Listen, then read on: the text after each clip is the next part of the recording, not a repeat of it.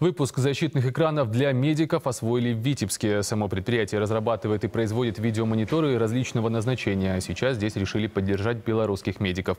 Экран вырезают лазером, а элементы крепления делают из оргстекла. Перед запуском производства образцы протестировали витебские врачи. Конструкторы учли пожелания и доработали защитные экраны. Мы решили хоть как-то помочь э, медицинским работникам. Сотрудник, который на двух станках производит обработку э, материалов, то есть лазер вырезает нужную форму щитка, ну и потом мы комплектуем.